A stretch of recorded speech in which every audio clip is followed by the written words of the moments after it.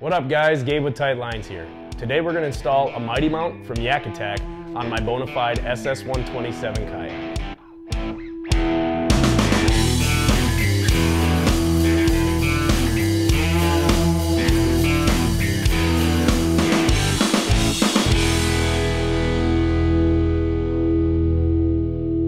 So the purpose of adding the Mighty Mount is I need to actually move this anchor wizard from that position all the way back here.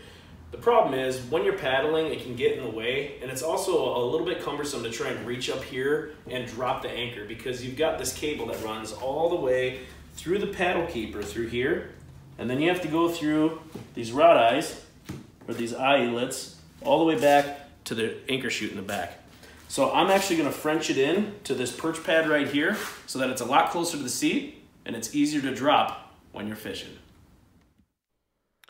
So the first thing you have to do is measure exactly where you want to mount your Mighty Mount.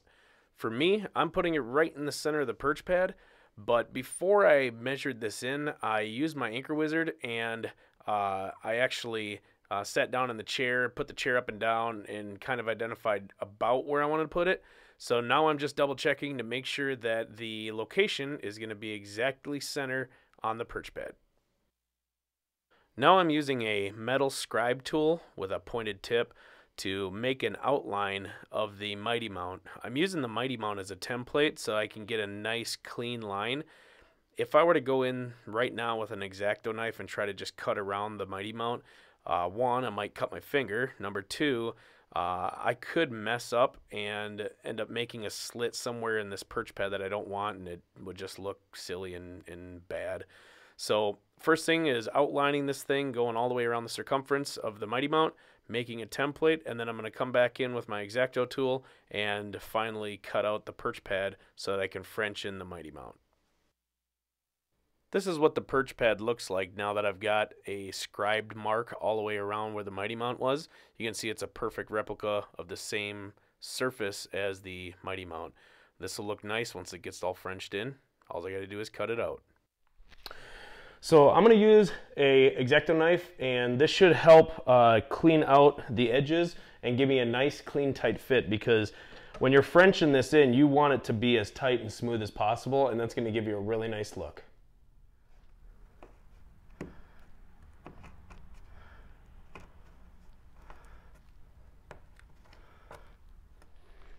All right, now that I got it all cut out, we're gonna have to skive out this perch pad because it's glued with an adhesive down and we need to get this to be a flat surface.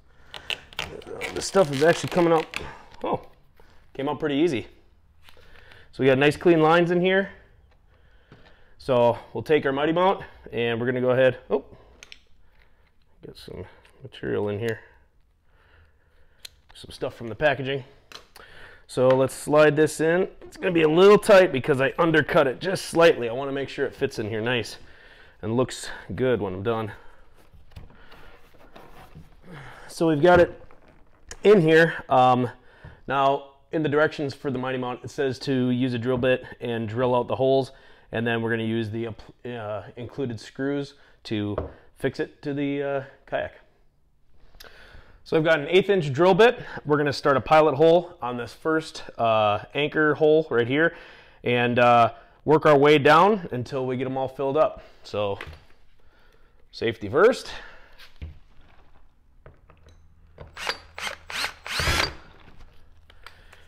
And we'll switch over to a drill or uh, impact and it in included with these stainless steel number 10 screws. So we'll start with our first one here. Once it's tight, I'm gonna stop. I don't wanna torque down because it's only plastic. So next we will go to our next pilot hole here.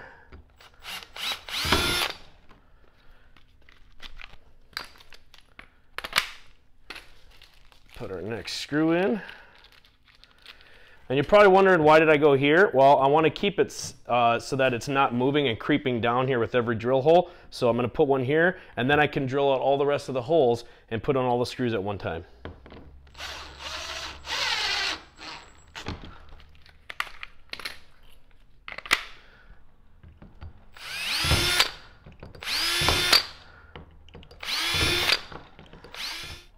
All right, we've got the uh, Mighty Mount installed, and this baby is going nowhere. I tell you what, those screws are going to hold in this thing very, very well.